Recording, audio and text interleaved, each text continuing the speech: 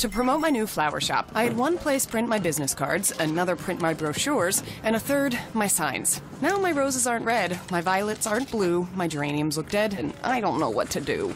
Staples can help your business stand out with signs, banners, and brochures that are a true reflection of your company. And now at Staples, spend $50 or more on print and marketing services and get $5 off your next in store purchase. Now my business is blossoming and I'm spending less green. Exclusions apply in store only. N62318.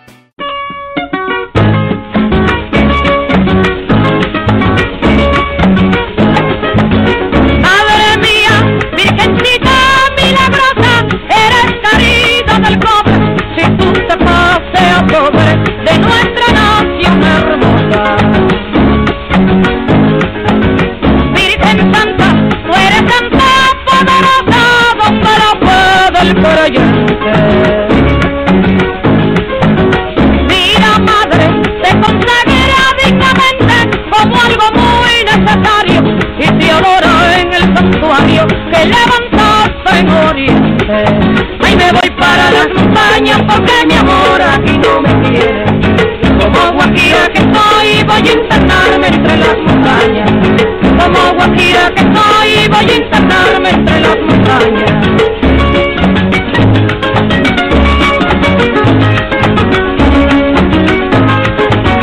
Mira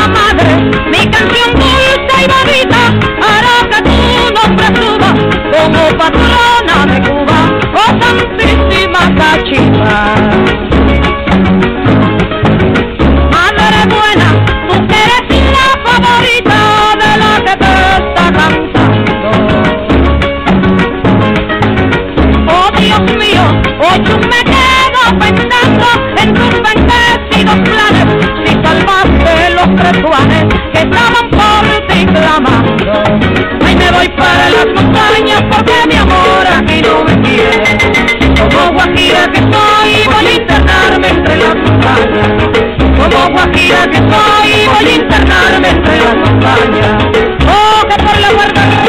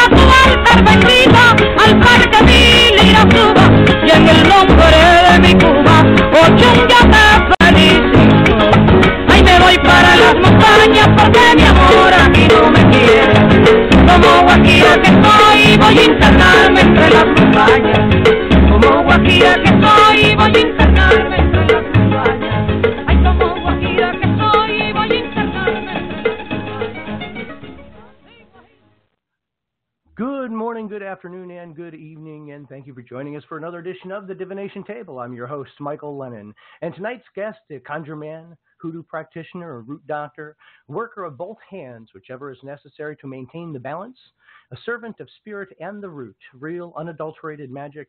Let me bring on Hoodoo Sen Moise, or um, Sen Moise. Hey, welcome. Are you there, and can you hear me? I'm here. I can hear you. How you doing?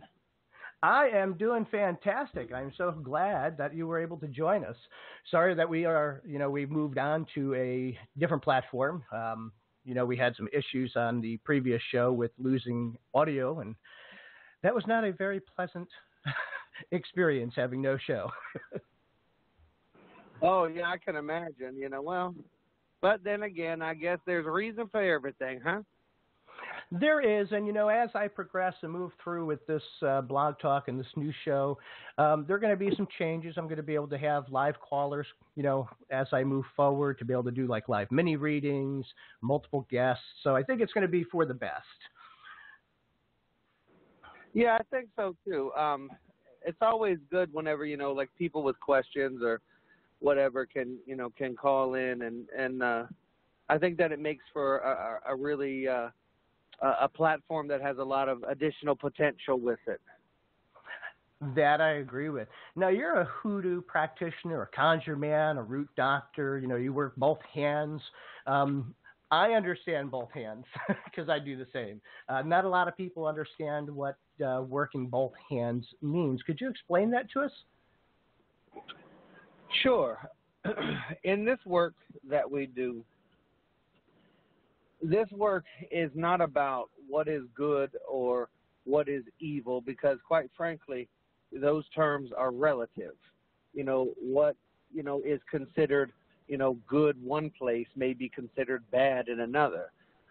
What this work really is about it's it's about is the work that you're doing is it justified? Is there justice that's that's behind it? Is it balanced?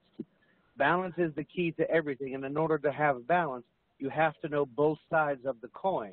And knowing both sides of the coin being uh, uh, uh, it means that you know that one should be able to you know work with both hands. In other words, do things that you know that might you know be pleasant and do things that aren't pleasant. Sometimes you got to get your hands dirty to get the job done. You know.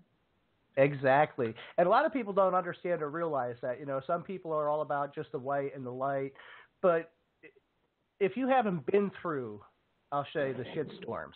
Um, how do you know how to protect yourself? You know, if you haven't been attacked, you know, how do you know how to, you know, protect yourself when that when stuff like that happens? So it's important, you know, from any type of magical system to be able to do both hands, be able to work both sides so that you can effectively come at whatever situation it is in the best possible way. And it is not always pleasant and it's not always pretty. Exactly, and that's and that's very very true. And you know sometimes you know the, like uh, the the classic example that I always give with regard to that because I get from a lot of people, you know, they're like, oh well, you know, I you know I hear the you know the thing about karma or the you know don't do any harm and blah blah blah blah blah, and that's fine if that's your principle. But let me ask you a question. Let's just say that one night you're at your house and you're in bed and you're asleep and you know there's you and your family or whoever you know is all there and you're all asleep and somebody breaks into your house coming after you to harm you and your family or whatever. Let me ask you a question. Are you going to turn the other cheek? You're going to let them do whatever they want just be like oh i'm just going to pray you know? No i'm not going to do that either. I promise you they ain't ever going to leave my house. Never again and it's important that people understand that you know in this work you know even if you think about karma you know sometimes karma also needs a helping hand you know and that's the way i always Absolutely. look at it you know mm-hmm. karma doesn't automatically just come back at you sometimes there are other possibilities that you know cause things to come back at you and those are some of the right. things that we work with now you're also a diviner too correct um, I work in divination, sure. Of, I, being what, a priest, you kind of have to. so, what type of divination do you work with? Um, I read cards. Um, I read tarot cards, playing cards. Um, I also uh, read uh, uh, cowrie shells and uh, chamalongos primarily. Okay, because because you are also you know a houngan, you are a palero, um, you have That's multiple correct. spiritual practices that you have followed during the course of your over 30 years. I'll say 32 because you know you don't you don't look that old. Um, well, I appreciate that. you know, and now I understand that you also have a shop down in New Orleans too. Is that correct? Yes, uh, I, I co-own a store uh, in uh, New Orleans, in the uh, and the name of the store is called Conjure.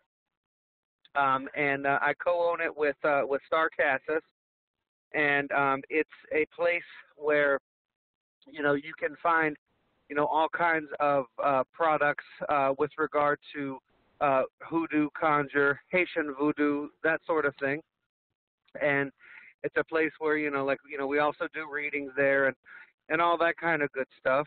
Um, you know, there's always something going on down here in New Orleans, so you know, we kind of get in a little bit of it all. you just had what was it, St. John's Eve? Yes, we we just did a um a St. John's uh, uh, weekend, St. John's Eve weekend uh, of Conjure, which uh, consisted of uh, a full day of classes, and we had some amazing uh, presenters come in um, and talk about you know an array of topics. Um, we had uh, Ambrosine Laguerre come in. Uh, we had uh, Crystal Madison come in. Uh, uh, Houngan Hector, who is my godbrother, came in, uh, and uh, my godmother uh, Marie Loiseau, Mambo Marie Carmel, um, oh, came in, and then and then uh, uh, Starr and I uh, taught as well. And the first day was all about uh, classes, and then uh, we did a uh, a masquerade ball uh, on St. John's Eve. Oh, nice! I saw some of those pictures on Facebook. I was just like, oh my god, look at them! It's like I, I, I don't even know what I would end up going as if I was to do that. well, you know, it's like in New Orleans. It's you know, it's always a surprise, but not a surprise. You know. Right. Yeah, I know. It's. Uh, and, I haven't been there as of yet, but you know, I do plan on making a trip or two down to, uh, you know, New Orleans. Hopefully next year when uh, things settle down in the dust. You know. So, what's your favorite style of divination? I do you do have a, a lot. um, well, I will say this: I do a lot, lot, a lot of readings. Um, a lot of the readings that I do um, are phone readings. Now, for me, if I am doing a phone reading, um, I'm going to use cards because, like with uh, like uh, chamalongos, for example, or the shells, for example, those have to be done in front of a particular spirit.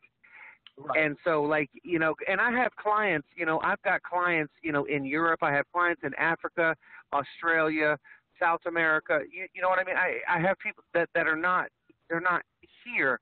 So they're going to call me, you know, to, to do a reading. So if I'm doing a reading over the phone, um, I'm going to use cards just because, like, with with the other readings, there are uh, stipulations that are attached, you know, to them that that would not make it possible for me to do them unless they were physically present.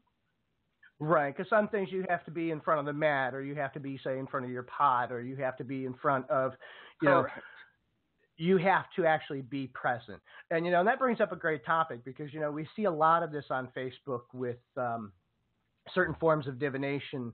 You know, especially coming out of Africa, because we see a lot of these posts on some of the Ifa systems where you know, and a lot of that you have to sit on the mat in front yes. to be able to have the correct divination performed for you. Um, there are certain things, you know, traditionally that I don't think should change. Some things should remain the same. And although we can do divination with cards, we can do divination with, you know, bones or shells or, you know, any other sure. method tradition still, in my eye, has to remain strict and adhered to. You know, absolutely. I, and and, and, and you're you're absolutely right about that. And if I could, I'll even give you an example with regard to that. Like when when I was going when when I I was contemplating um, going into Palo. Oh, and by the way, before I get on that, uh, just so the things that I do, conjure, like the conjure, the palo, and the voodoo, those are all cousins. Yes. So in other words, they're, they're all closely related. There's a little bit of a different technology and a different, but they all come from the same area, and those practices, in a lot of ways, are very similar. Just throwing that out there because you know, the next thing I know, somebody's going to be like, "Oh my God, you got all these traditions." Well, it's all the same family, so you know, it's not it's not that different. Um, no. But um, what I was going to say was, when I was getting ready to, uh, uh, when I was uh, exploring going into into Palo, you know, one of the things, at least in the Rama that I'm scratched in, um, that has to be done is what's called a consulta, and that means that you have to you have to have a reading done to see if that mpungo will accept you or not. And that reading cannot be done over the phone and it cannot be done via email and none of that stuff. So I had to fly to Miami to have that reading done. So I, I flew to Miami for a reading. That was it. Yep. and so and that's what I tell people. I'm like, you know, that that's that's the way that this that that, that this works. Like there are reasons for these things. You know? Right. And and one of those reasons, you know, from the spiritual aspect is you know, getting scratched or getting crowned or receiving, you know, your your you know, your loa or anything else is you don't want the wrong spirit on your head. You don't want to be scratched underneath Never. the wrong spirit. You don't want to have the wrong Orisha, you know, on the top of your head. You know, those things can cause and wreak havoc in your life when you are not tuned correctly to the guardian spirit that's, you know, on your head. And you are absolutely right. And that's and that's something that is extremely, extremely important. You know, like there's a lot of things there's a lot of things that that are done that people do in my opinion that that you know like are have the potential to be you know quite dangerous. And i'll give you an example of that you know and you know people can say what they want but i'm going to tell you this. One of the things that i get a lot is i get people who come to me and they want me to tell them. They want me to to tell them who their loa are. They want me to tell them who their Met Tet is. Met Tet, if you don't know, um, whoever's listening, if you don't know, it means master of the head. It's like the, it's like your your the the the, the loa who who sits on well one of the loa who sits on your head, the main one. And I can tell you this, you know, that that that for example is not done by way of a divination. It's actually No. a ceremony that happens. Exactly. And so, but at the same point in time, you have so many people that you know, like, oh, I'm going to pull a card and I'm going to tell you who your Met Tet is. That's not how that. That's not how the voodoo works. Sorry, no, you know that's It, it's not simply how, not the not way how a that lot it of is. the systems work. You know, we can speculate all we want. You know, I mean, I know people of that course.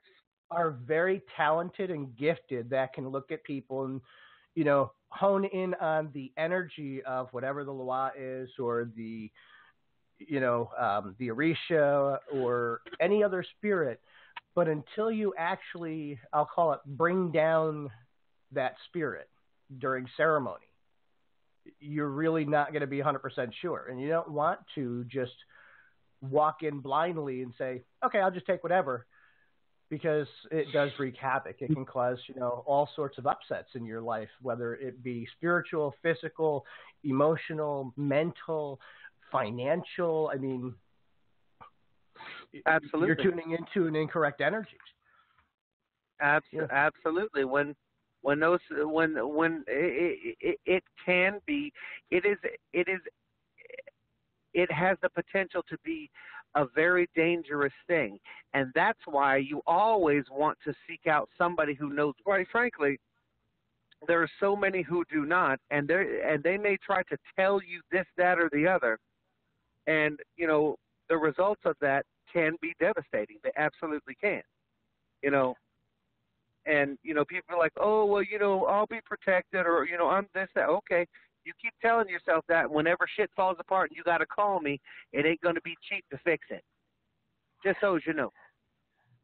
And there are a lot of things that we can do divination wise. You know, we can sit and we can, you know, throw cards or we can do the chamalongos or the shells or the bones. And we can see that there are spiritual things attached to a person. There are, you know, influences magically Mhm. for, you know, whatever situation a person is in.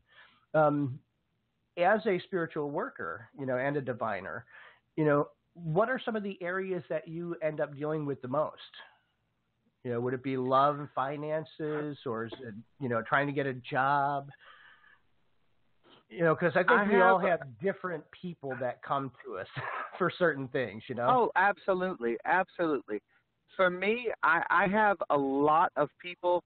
Um, a lot of people will come to me for justice work. A lot of people come to me for cleansing work, and a lot of people come to me for love work. Like those are the three, like the the three, like money work. I I, I think with the money work that that's that's an across the board thing. So I don't think it matters who you are. Everybody's going to have everybody people who come say can do some money work on me. So I don't even really count that. But for me, like those are the probably probably the three uh, uh, biggest things that that folks come to me for is, is you know justice, cleansing, and uh, uh, and love work. Um, and then half the time it's always you know can can I get my man back or can I get my woman back and blah blah blah. And I will tell you this: ninety percent of the time, I won't I won't even talk to you. I'm just like, you know, they're, they're your ex for a reason. Right. Um, you know, you're their ex for a reason. And so, like, I'm not, I don't, I don't get caught up in, in. Uh, every now and again, I'll take a case like that, but most of the time, I don't. Um, just because, you know, I, most people, not everybody, but most people, you know, they they find it difficult to be completely honest whenever I'm asking them about the nature of the condition, what's going on, what's happening with such and such and such and such. They always conveniently leave out details, and then whenever you know work starts, and you know things, you know this thing or this thing happens, you know, and I say, what was re- what else was going on that you didn't tell me about? Oh well, you know, uh, such and such and such and such had happened. That would have been information that was useful back then.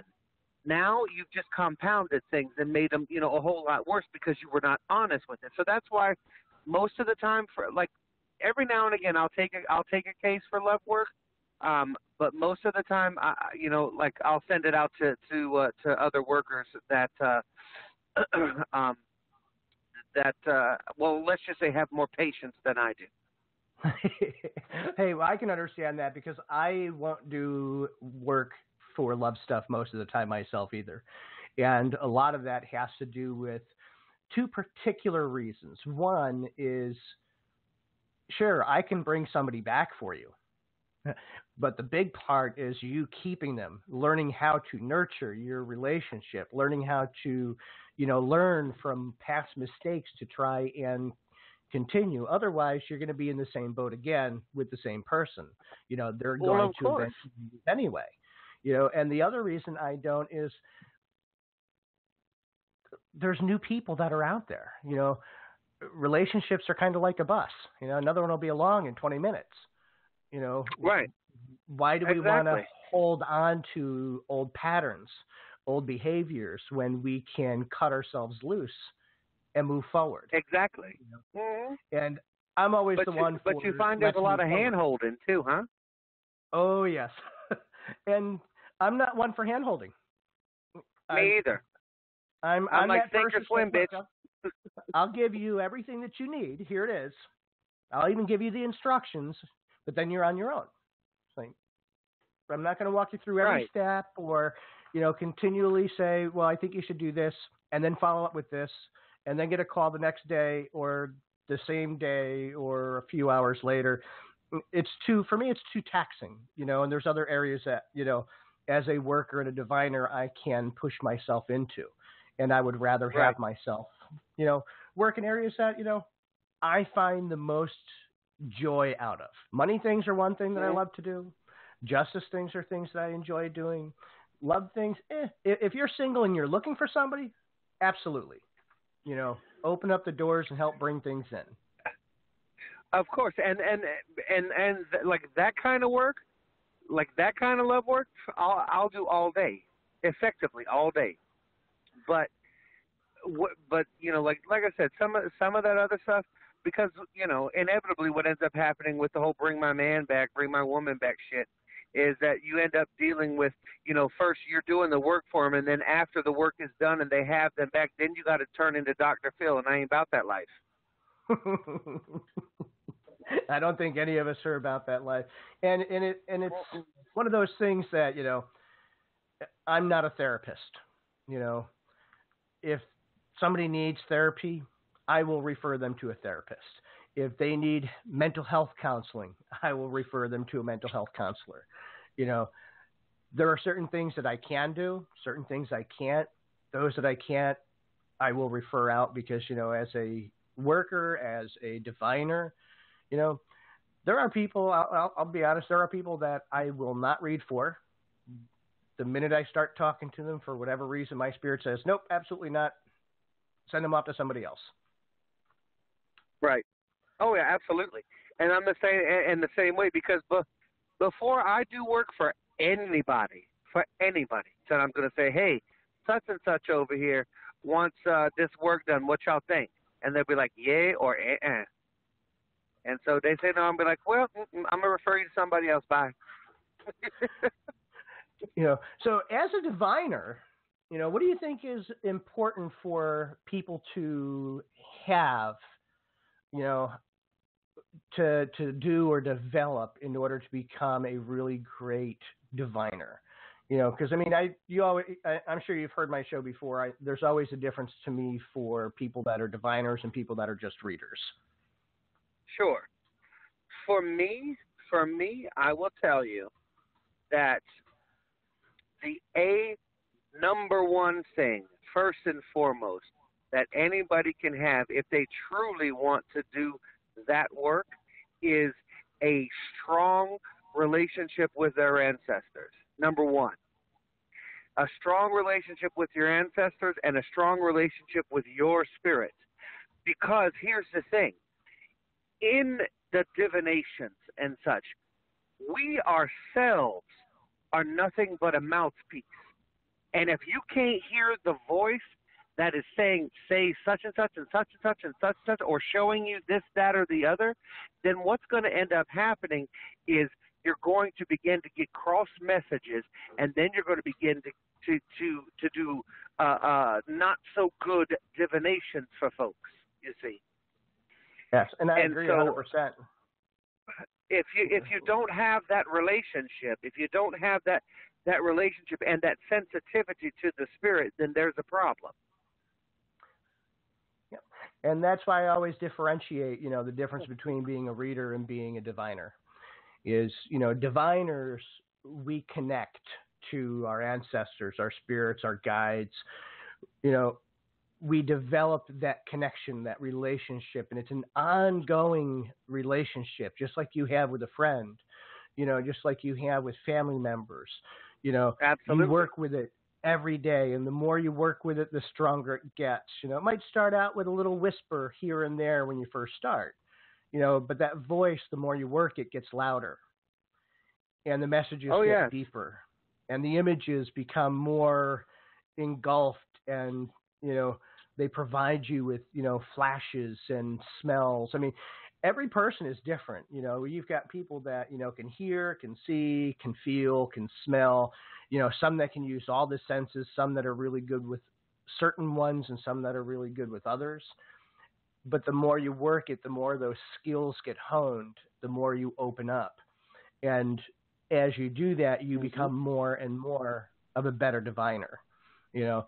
And Absolutely. For, you know, and a reader. I mean, and there's nothing wrong with uh, being a reader if that's what you want to be. You know, there are some really good readers out there that people will go to because they just want to have certain answers, yes or no. They want to know exactly what's going on, but they're not looking for that real divine connection. You know, right. but when you need to really spiritually see why things are taking place, what's going on, how come you're not moving from point A to point B? There's hidden things in the spiritual realm that being a diviner can tap into and say, look, this is what's going on. And you may not get that with just a regular reader. Mm-hmm. You're absolutely right. And I'll tell you this I'll even take it a step further. When you have that strong of a relationship with your spirit, I could you can put the cards away. You can put you can put everything away. You don't that that becomes basically just a tool for show for somebody yes. else so they can have something to look at. You don't need none of that. No. I, I used to do that quite frequently when I worked in the Botanica up here. Exactly. A lot of times my cards were people needed something to look at.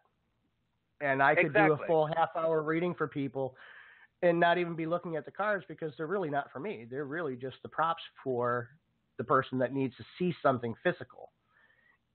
Right. They're they're looking for that, and that's and that's the thing.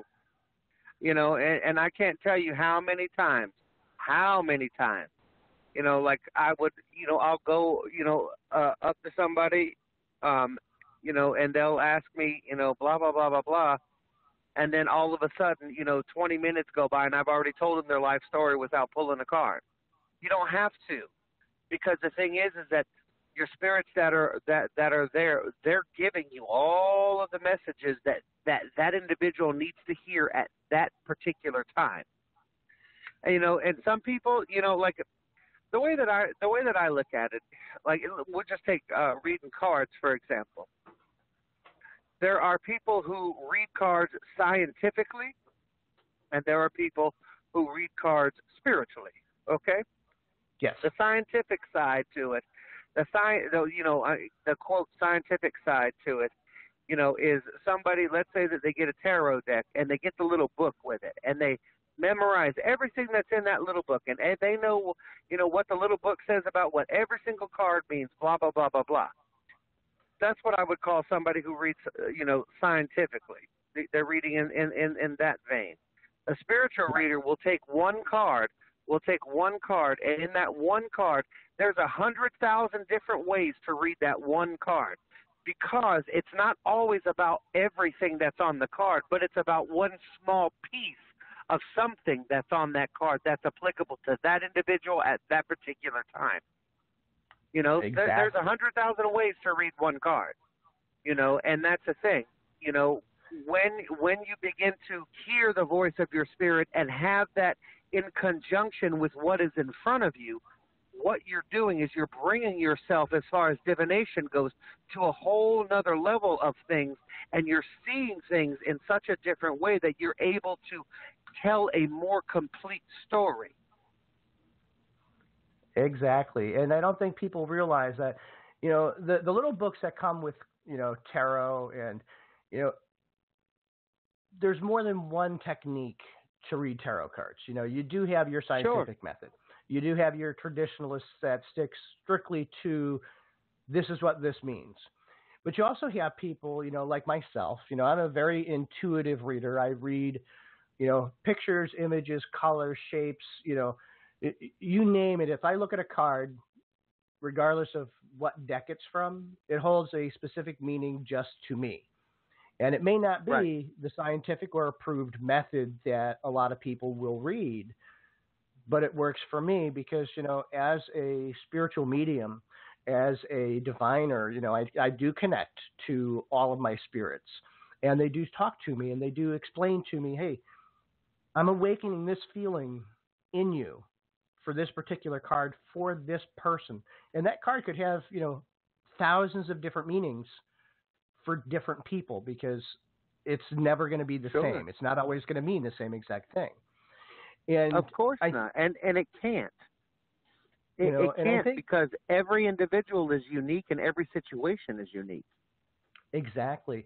And I think what a lot of people also need to do too is to work on their own trust, the, their the self trust in their own spiritual connection that they have.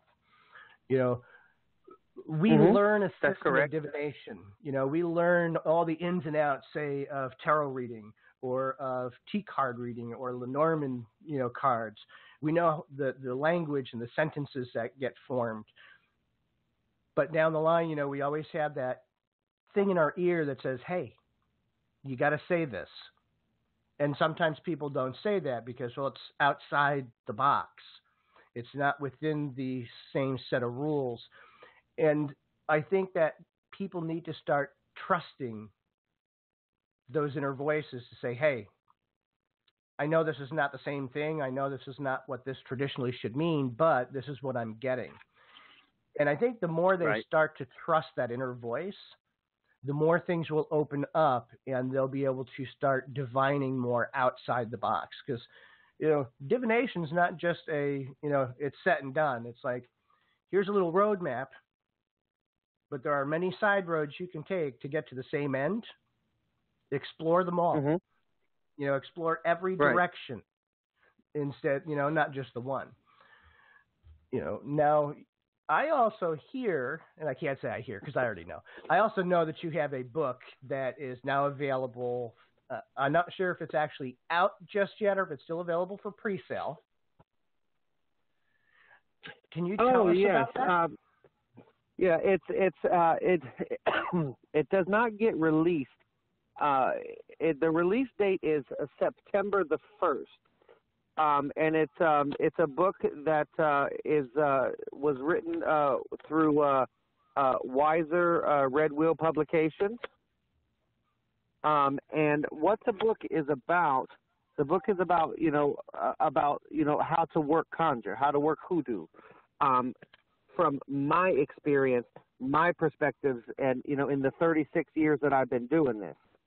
Um, it's I'm the type of person to where like if I'm like if I want to know something like I want like to to do things. So I'm not big on like theories and you know and this bullshit and that like I want you to I want to know how to do something.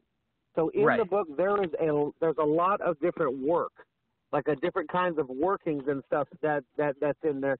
I go into a bit of like the history of of conjure, um, and then you know like there's there's stuff in there about like you know like the the, the spirit of the roots, uh, the spirit of the dirt, spirit of place, you know all of those things which are very very very important and potent in conjure, and you know I believe that that conjure should always be very hands on, so therefore I put in it a lot of things that people, you know, if you want to, so let's say that you want to do such and such for prosperity. Well, here's a work how to do that.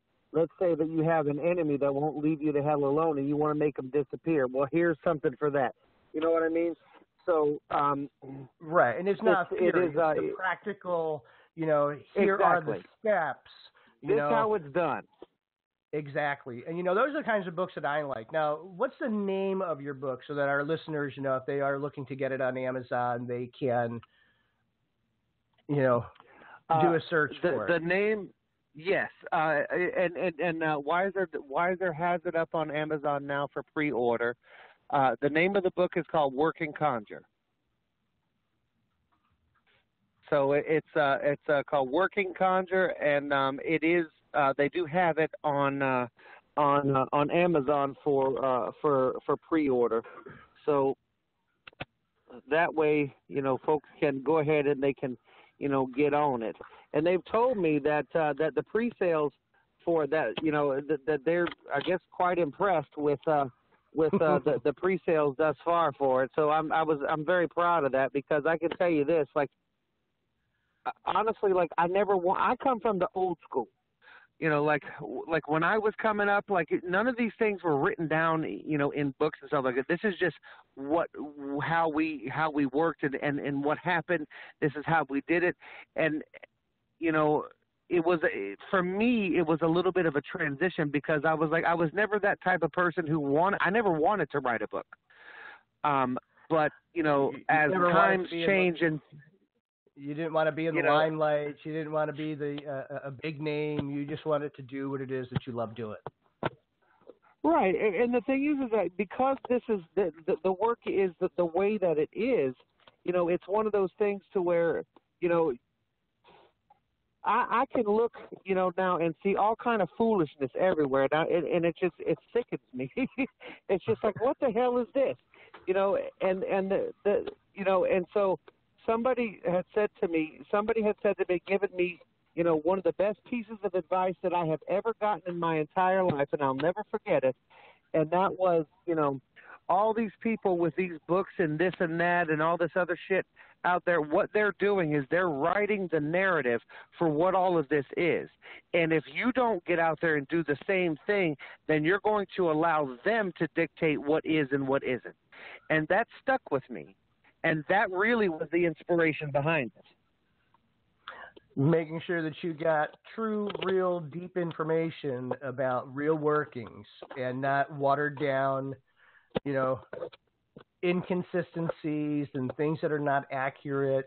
And it is something that's needed. I mean, there's there's more need now for real, good, honest. Here's the truth. Here's how we actually do it and how I have learned through the years, you know, to be able to do all of this work. And you know, some people go out just to make that uh, you know that quick dollar, put their name out. And you know, I know that you are more of the humble person. You are more of the you know, I'm not doing this because I want to make a name for myself. You're doing this because you're almost pushed into the corner to say, you know, it's time that some real stuff gets put out again and let people see real work by real practitioners. Right. Right, and and and and then you know, because like I said, there, like quite frankly, there's so much dumb shit that you see, like you know, people trying to like mix this with this and mix this with this, and I'm like, what are you doing? You know, like quite frankly, yes, conjure is an oral tradition. It absolutely is, but it is a tradition nonetheless. And so, like, you know, for me, I don't give a shit what anybody does because every man has to work out their own salvation. Okay, everybody Mhm. has to do that. But here's the thing: when you like, uh, one time I saw uh, somebody somebody had they had uh, uh, they they posted some picture of them, you know, quote charging uh, a mojo hand, and they had the mojo hand sitting on top of like some like uh like a a a, a, a pentagram with this that and the other. And I'm like, we don't do that in this work. That is not conjure. if you want to, like it's not. I'm sorry, but it's not. And here's the thing. I will tell you this. I am a traditionalist. I absolutely am because I believe that if you're involved in a tradition, then you need to work that tradition. That's what you need to do. Now, if you're involved in more than one, fine. That's great. And that's wonderful. But here's the thing. Like don't take one and then and then mash it up with another one and call it something else. You know what I mean? And call you know what I'm saying? So like Oh, why would you do that? You know, It makes absolutely no sense to me. People have that hard time separating, you know, one tradition from another tradition. They have a hard time, you know, if they are, you know, Paleros or whether they are, you know, crowned in the Orisha traditions, whether they are Wiccan or, you know, uh, uh, Houngans or Mambos in, you know, Haitian Vodou. Right. Each one has their own particular way to work. None of which Yeah. are the same. You can't take one work from one tradition, transfer it over, and work with it completely in a way that it's not supposed to. You're doing, I will call it half-assed work because you are not adhering to this is how it's actually done within this tradition itself. Now, if you want to Right. change that and do something completely, don't call it hoodoo. Don't call it root work. Don't call it, you know, if, if you're just doing magic, that's a completely different thing, you know, without being under an umbrella. But if you're going to do hoodoo, do hoodoo and do it Exactly. Exactly. Do it the way that it's supposed to be done. Don't be adding like all this other shit in there. You, it, because it's like, for a number one, you, you're confusing people. But b the other thing uh, is, I am firmly convinced. I'm firmly convinced that a lot of that crap that goes on, it's just because people are trying to get attention because they want to be spooky. You know, some dumb shit. You know, like uh, that. But like you know, like with that example, like that, like those are those are different things. They're not the same. And in some ways, some ways there there there there is opposition against one another with that. But hey, who am I? I don't know. You know, Well, but That's like you know I've seen But, pictures uh, on I've seen those pictures on the internet of people that are using the uh, Orisha Ogun statue, and they're using it for Ogun in Haitian Vodou. Now, right. Nope, different. Ogun is not Ogun. You know, it's a different Ogun. I mean, it's the same energy per se, but it's a different tradition. And you can't represent a Voodoo Loa with a, you know, Ocha statue. It's not the It's same a- energy. it's you're not different. calling upon the same. You're not calling upon the Loa. You are basically doing, I'll say, confusion magic because you are getting yourself confused over what you are actually calling upon, Correct. and then you're gonna, and then they're going to wonder why this doesn't work. Right. It's it's not the same. It's it's different. And even within, even with even though like the Ogous and the Oguns, like both come from the same place, they're not the same spirits. Right. They're different. Those spirits are different. And so, you know, that's like that's like, you know, you trying to like, you know, put a picture put a picture of your third cousin and tell everybody it's you. No. ain't you. and spirit will know that it is not them. You know, spirit will do that Right. look that, you know, we give people when we look at them and they say something completely stupid and we got that what the fuck look you got on your face. It's like Exactly. you know, it makes it makes no sense. Now, you're also, from what I hear, going to be at the Mile High Conjure Gala in September on the 29th and the 30th. Oh yeah, I'm gonna be up there. Denver will not be the same. so, what is it that you're going to be uh, teaching and educating up there when you're out there? uh, at the at the gala, I'm going to be doing uh, I'm going to be doing uh, doing a class about the ancestors, and um, teaching people how to to to begin to to work with them, how to effectively work with them, and how to, you know, to to move forward in that relationship. Because realistically, more than anything else, the ancestors should be first because they are the very foundation that we stand on. It is by their blood, sweat, and tears that we're standing where we are today. And it is everything that they have done that have put us in the place that we are in so that we can move forward. There's a lot of people who always, they, they instantly try to run to, you know, this Loa, this Orisha, this God or whatever, they're blah, blah, blah, but they completely disregard where they came from. And my whole thing is, is that you better fucking know where you came from because that's how you're going to know where you're going. You see, Exactly. and so, and so that's what I'm going to be doing over there. And I'm glad you are doing that because you know a lot of people don't realize that you know in a lot of the traditions that we follow, and when I say traditions that we follow, mostly I'm speaking about the you know African traditional religions, you know, ancestor reverence or ancestor working is the foundation of our entire spiritual practice.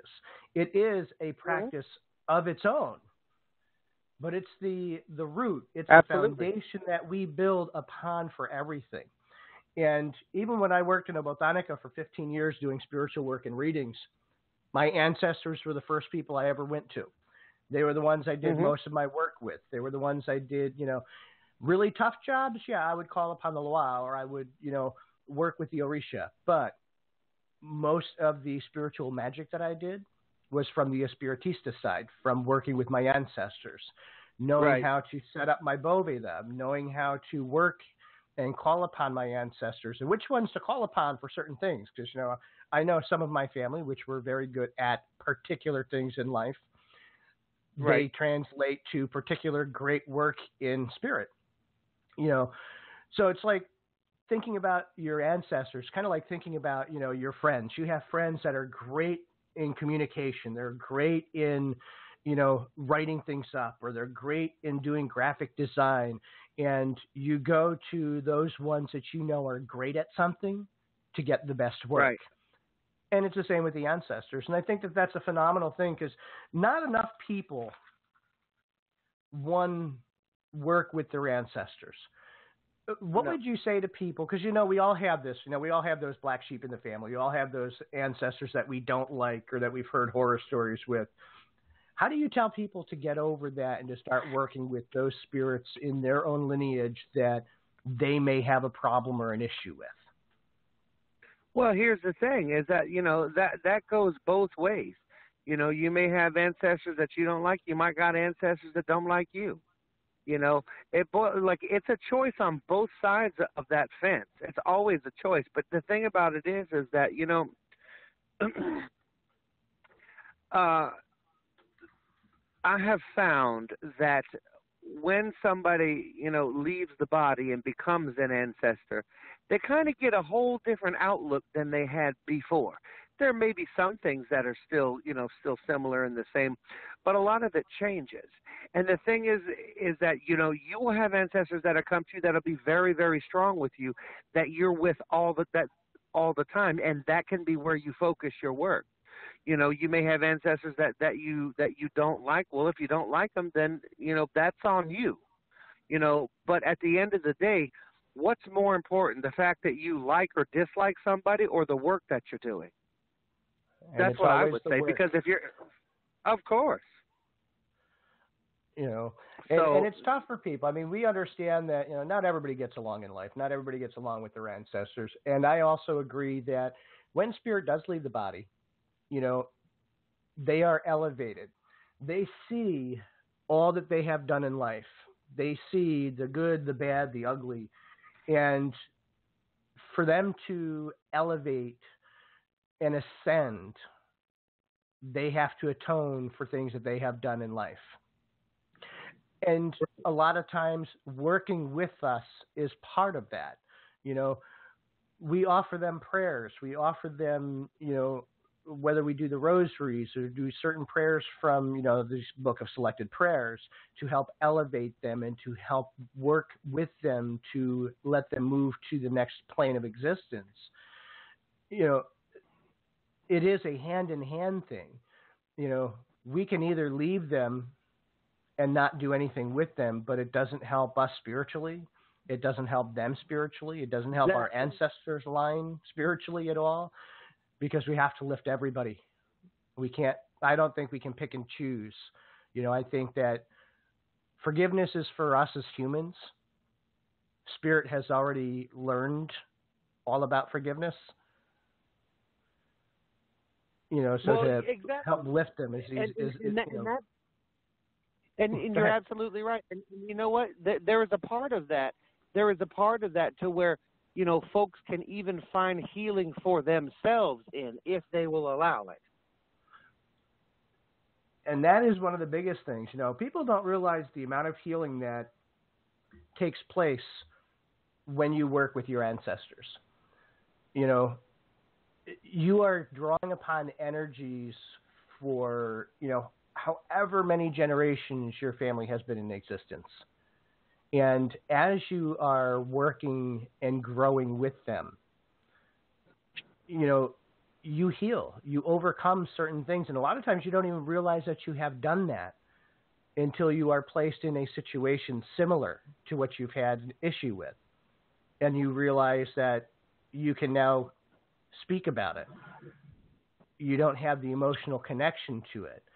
You know, so healing happens on such a deep level and so multifaceted that a lot of times we don't realize that it's taking place. We're just doing what we need to do spiritually and we're already lifting. Exactly. You know, and and the other Karen- thing, and the, Go go, ahead. ahead. I'm sorry.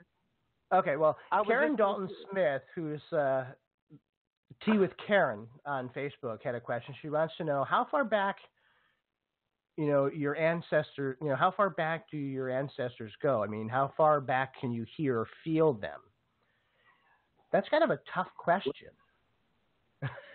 Well, I can tell you this: you, your the, your ancestors will go back as far as it needs to be. You will have some very, very, very old, old ancestors that'll come to you, and you know some folks may not. That that's not a question that uh, I, I how should I say this? It's not a question that a general answer can be given. But as you're continuing to do the work of your ancestors, trust and believe that more will come forward and more that you have never met before, more that you don't know before, but they'll come forward and then revelation will be given that yes indeed that this is another ancestor that that you have that you're beginning to, you know, to work with because the thing is is that, you know, the blood speaks to the blood. So as far back as your blood goes, that's as far back as your ancestors will go, and they'll come forward whenever they see fit. and and they're always different. You know, there's multiple ones that I have, and there's one that I use that I shouldn't say I use. There's one that uses me when I do healings on people. You know, when I'm doing a despojo or when I'm doing any type of a rompimiento type cleansing that Mm-hmm. is so old that I look like I am this tiny little shrunken old woman that has a hard time walking, you know, but when she breaks out her, um, it, it's a giant hanker, handkerchief, you know, multicolored uh, Mm-hmm. hank, handkerchief. Um, she likes to wave it, you know, so she, it'll be dipped in whatever, whether it's Florida water or a baño or anything else, and it's done like a fan. But it is done so fast, you would not, you would not even believe that an energy that looks that frail, that fragile, that tiny old woman could move, you know, like supersonic speed when this takes place. You know, that's one of my oldest. I have my grandmother comes to me too. She's only been Oh, past yeah. about five years. Um, you know, God love her. She has been one of my guiding rocks in my life. She has, you know, my whole family support of, of me, even though I'm the black sheep of the family. You know, I follow different traditions than everybody else. I have always been the spiritual person in the family, you know, but they've allowed me to grow into who I am. And I do, you know, my boveda consists of, you know, not just your standard, you know, goblets of water, but I also have um, doll representations for certain ancestors. You know, porcelain dolls. I have ones for my grandmother, my grandfather, great aunt, my father.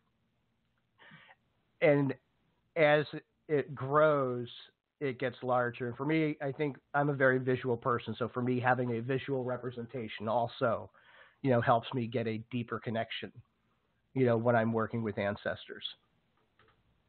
Oh, absolutely, of course. You know, and and that's the thing is that you know even on the physical side, there are things that we, you know, that that we may need, you know, to help ourselves along with that, and there are also things that that that ancestors may want, you know, uh, to to present because of their own work or or something that that they're wanting to, you know, to do or achieve, you know, at the time. So, you know, that's that's that's actually that's quite normal you know with that and and it actually holds within it a lot of power you know And I agree with that too, because you know there are certain things that I do with my dolls. Um, I won't go into detail, but I'm sure that you understand when we say you know loading. Um, I do load my my dolls specifically, which with each ancestor, with certain things that represent that that spirit, that energy, to tie them closer to me. You know, so that Right. my work is stronger. Right. Um, and of course, you know, we won't go into what goes into that because, you know, every tradition is a little bit different on that, but we understand what doing, you know, loading would be, you know, and that's those certain items which we won't tell, which we won't tell because, you know, we keep that secretive to ourselves, of course. You know. Um, of course. So, aside from ancestor um, reverence and working with your ancestors, I mean, what other tips do you have for new readers or people that want to be better diviners? You know, I mean, I know the ancestors. For me, the ancestors is always my first thing that I always mention to people. This is what we want you to, what you should be starting with to get a really good foundation. What can they do on top of that to elevate themselves, you know, spiritually? Realistically i mean it, it, it's a matter of just sitting down and and and practicing. Like i will tell somebody like if you're going to read cards always you know you really realistically practice a lot but the other side of that is if you're going to read cards you need to always look for you know in the card what is the bigger side of what this card is saying at the moment? What's going on with you know with the let's we call it the picture within the picture. If you pull a card does something you know some small thing in the card that you're doing a reading for stand out. If so why does it stand out? What does it mean? It's it's kind of about you know not um how you say um not allowing like a monotony to to come in in in the the way that that you're beginning to read but but to always look at it from a, completely like fresh perspective that doesn't have any kind of uh how you say uh uh tampering on it. Uh, Right. So, like, your you know- initial instinct too. When you know when you're looking at, you know, if you pull a, a particular card and one thing does stand out, you know, go with it. You know, don't pull back. You know, there's a reason why you're seeing some part of that card stand out for you. And, absolutely. You know, and and you actually you just touched on a very very important thing you know and we we spoke just a tiny bit about it before but you you touched on a very important thing which has to do with not allowing uh fear or inhibition to come in essentially take over what you're trying to do because right. the thing about think- it is, is that you have you have a lot of people who what'll happen is is that that inhibition will dictate their reading or that that fear will dictate what they say and what they don't say because so many people are they they they are afraid to tell people exactly you know what they see or they want to sugarcoat something in such a way that you know it's you know i it's almost like they're I've noticed that a lot of people like to tell people what they want to hear yes. and I've never been that way. And and I and I think that the reason for that, I think that the reason for that is because that they allow either some sort of fear or inhibition to come in to stop them from actually allowing their their intuition and hearing what their spirits have to say come out a, as it should. And and I think part of that also has to do not just with fear, but with trust. You know, I, I think a lot of people one don't completely trust their intuition, so that plays a big part on the fear. I also think that there are a lot of people that don't want to be wrong. You know, and let's face it. I mean, it, it, nothing is ever written in stone. You know, if somebody's saying that they are 100% accurate in every reading, run away They lie. They lie. things things change. You know, I could tell you on your way home from work, you know, you can either go your normal same way or you can take a different route. And I suggest not going the same way. You still have the choice of going the same way or taking a different route. You go the same way, you can see exactly what's going to take place. You go a different route, you completely change everything and go around. And I think people Right. need to realize and understand that, you know, this is not, you know, a magical everything is written in stone. This is a snapshot of everything that's happening at this exact moment. If we keep moving along in life the exact way that we're going and we don't deviate,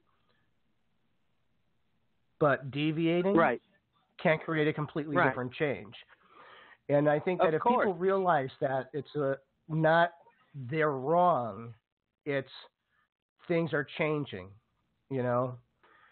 So Mhm. I I tell people I like to practice what I call guessomancy. I just happen to be very good at it. I just happen to have a good good degree of accuracy with guessomancy. But I, I say that jokingly, but it's really because you know being a medium, you know, spirit's constantly always communicating with me, whether it's with cards, without cards, whether I'm online, whether I'm just talking over the telephone. You know, if you can find a really good diviner that is honest, open, they tell you exactly what they see, the good, the bad, the ugly, and they have really good reviews. I mean, if their reviews show that, you know, they have been really accurate, they have been spot on, they're compassionate, they're loving, they're understanding, you know, find somebody that one is all those things, but two, that you also connect to. You know, being uh-huh. 100%, nobody's ever going to be 100% accurate. You know, No, I have met. And- you know. And I was just gonna say that I was just gonna say is that you know the other thing that has to be considered is that yep, you know we we we are channels of divination absolutely, but at the same point in time, guess what? We are human, okay? And just by very the very nature of being human, we are imperfect. So, and I'll be the first to tell you, have I ever been wrong in a reading before? Yep, sure have. But guess Yeah. what? It doesn't it, it doesn't negate the fact that somebody has or does not have that gift, or they have that thing that that can be nurtured into something else. but always remember, never forget at the end of the day that you still are human and you are going, you are going to make mistakes. We all do. And we do. I've been off on timelines before for, let's see, 12 years. 12 years I kept telling somebody that they were going to get married, they were going to have a child, and uh, they kept saying, Yeah, I don't see it. I don't see it. 12 years later, they got married. They just had a child. Um, and, you know, they still message me to this day. They still sit there. She's like, You know, you might have been wrong on the time frame. She goes, But you were definitely right. And I just never saw it. And it was also the person that they have wanted their entire life. It was like the one love that they always had that they never felt they could get. Mm-hmm. And it Mhm. just took Spirit a long time to align everything up to make all, you know, cross all the T's, dot all the I's, make sure everything was in place for all those things to happen. And both people had to be in a certain place in life, you know, for that to take place. Oh yeah, and but eh, the the the the, the good thing about that is that you know what ends up happening is that that- that becomes an ability to, or I should say, an opportunity to learn. You know, and that's where you know we you know we start asking our spirits to say, hey, can you help us with with you know with this or with with you know with with this you know issue that that you know I'm having with like like you said like with the timelines or what have you and it becomes an opportunity to kind of delve deeper into that particular aspect to what? Receive the, the, the divine inspiration that you need to, to bring it to you know to that other place.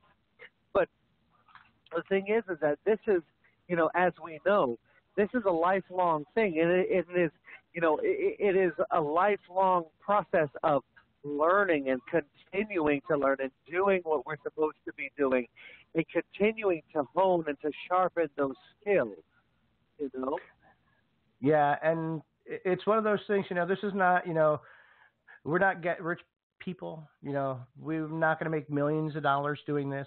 You know, we do what we do because we love doing it. It is part of our actual lifestyle. It's not just, you know, this is just a do- job I do from nine to five.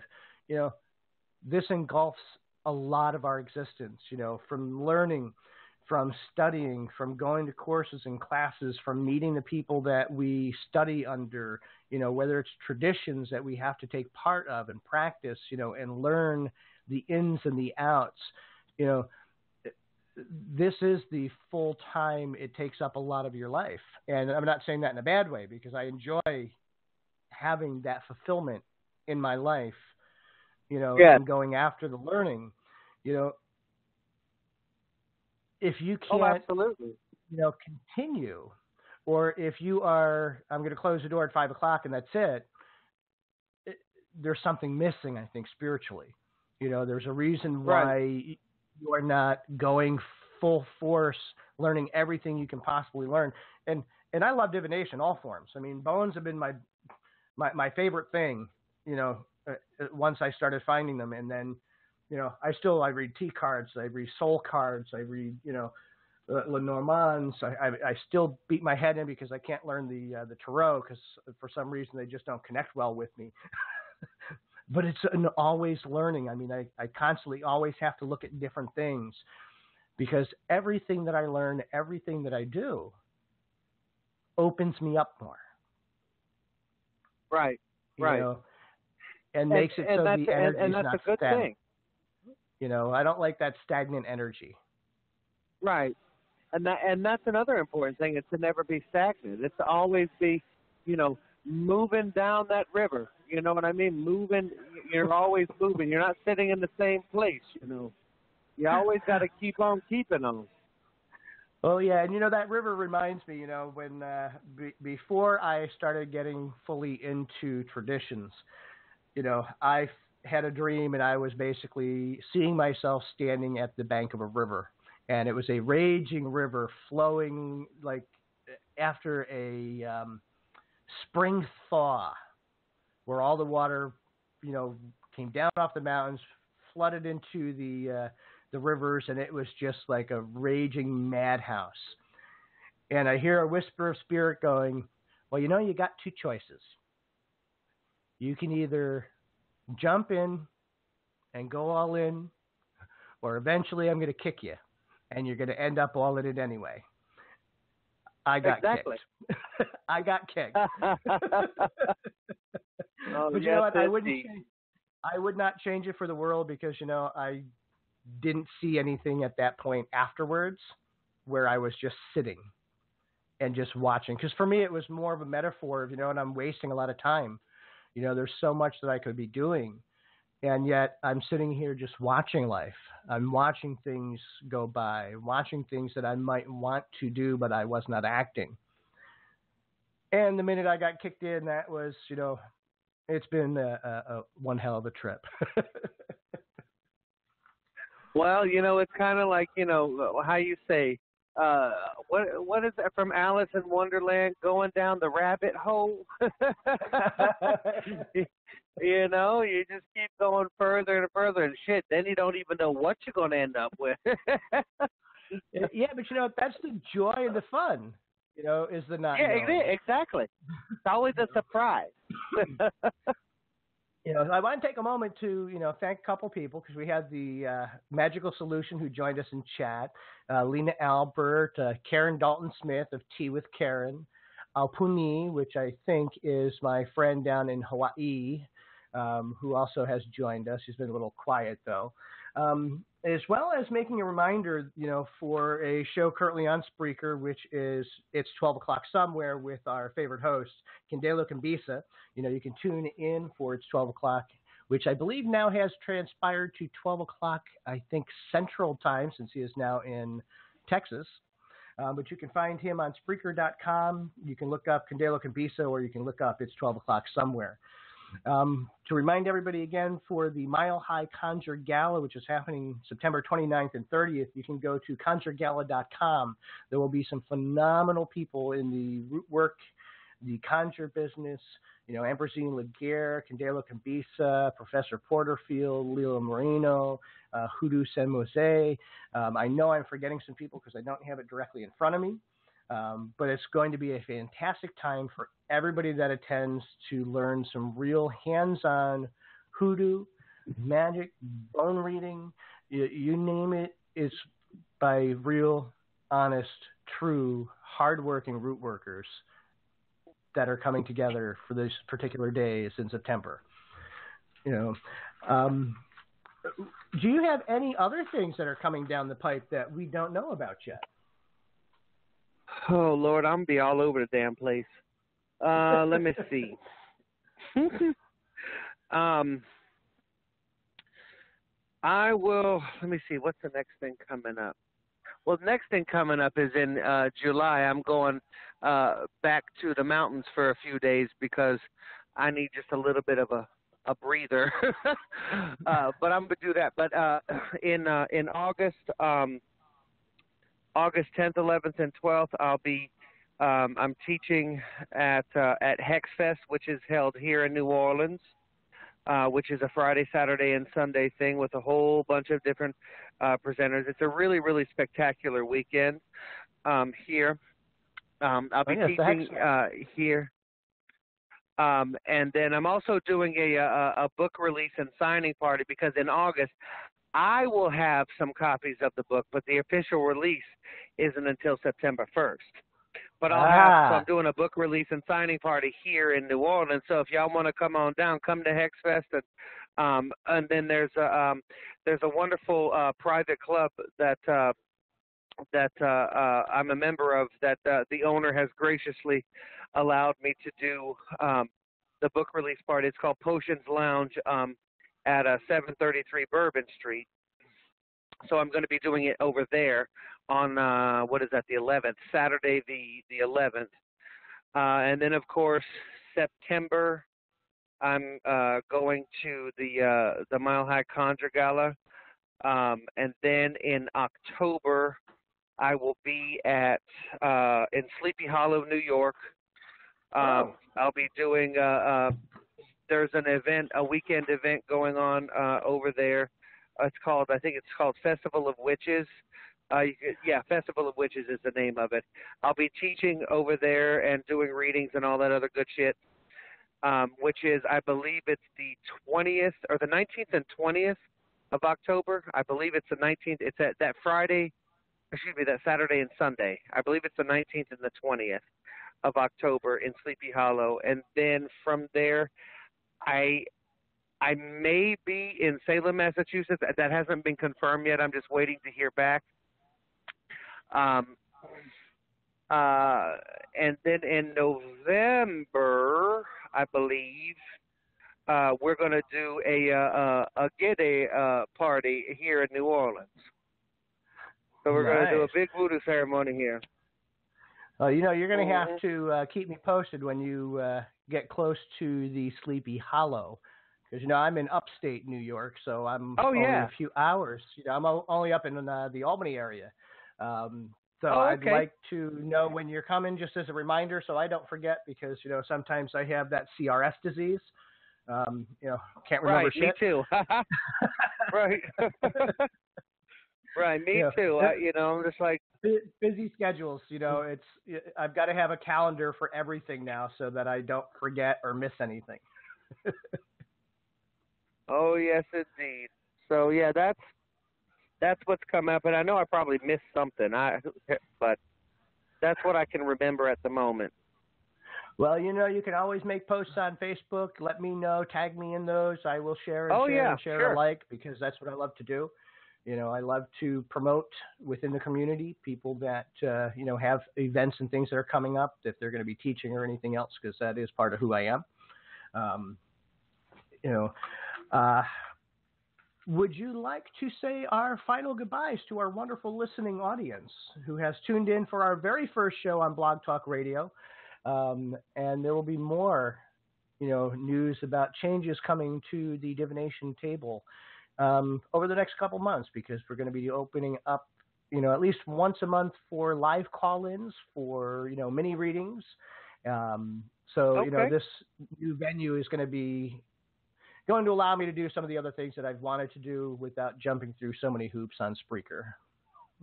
Right, right, right. Well, sure. Um, well, I can tell you that I personally would like to to thank um, every you know every person who uh, uh, tuned in and and listened and uh, and you know and then my prayer for them is that that they'll be blessed and that that they will they'll know their spirits and that they'll see their spirits and that their spirits will walk with them and that their spirits will work with them and um, that they will have prosperity and always have open roads in everything that they do, and that everything that they set their hands to will be successful, and that in all things that blessings will always be abounding in every single aspect of all of their lives. Amen. And I agree with that completely. You know, I want to thank everybody for joining us on this week's episode of the Divination Table with Hoodoo Sen Moise. And we look forward to seeing you next week on the Divination Table, same time at 7 p.m. Eastern Standard Time. Have a beautiful day and God bless. God bless you all.